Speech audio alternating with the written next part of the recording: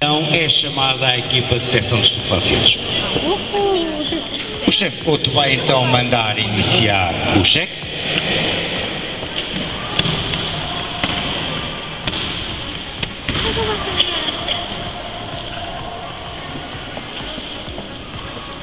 Incentivar e a preparar o canídeo.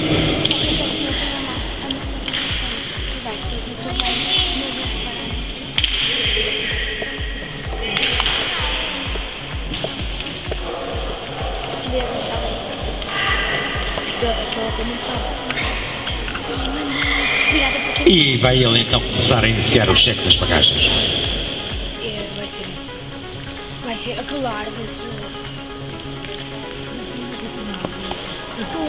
Reparem, começa a mudar de comportamento ali naquela.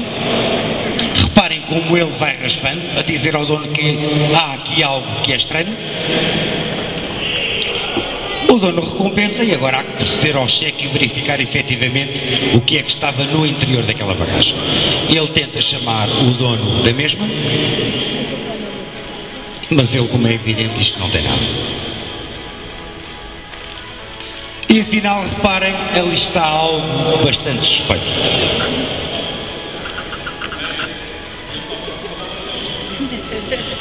Reparem, ele, ao sentir-se mais apertado, faz e efetua ali um refém, vai haver um pequeno rebentamento daquelas flash bomb, é só barulho, avisem as crianças, e ele fica e tenta encurralar-se ali numa sala.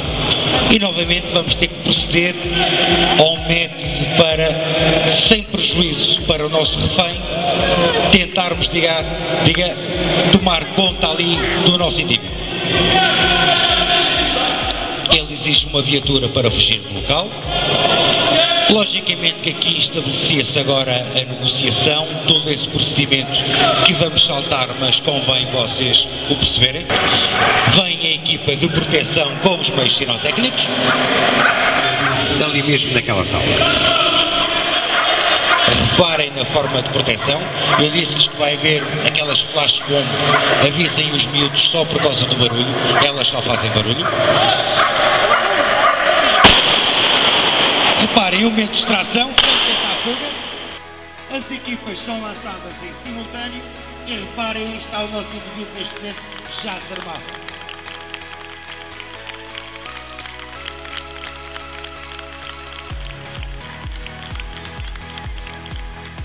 foi retirada a arma que ele possuía e agora reparem todo o outro trabalho das equipas sinotécnicas e dos segmentos de